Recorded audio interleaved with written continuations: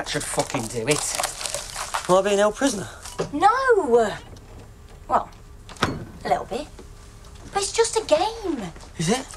Look, any more shit from you, Sunshine, and I'll drown you in the bath like I did that sack full of kittens. That really turned me on. What? It's a game. You're not going to drown me, are you? I'll punch you in the fucking face if you don't shut it, Sunshine. Thought you liked having sex with me. Not like this. This is. This is how I like it. Next time we'll do whatever you want. I'll do anything you want. Think of something. There is one or two things I wouldn't mind trying. Some right stuff in store for you over the next couple of weeks, Ferris. Oh, yes. Some really fucked up shit.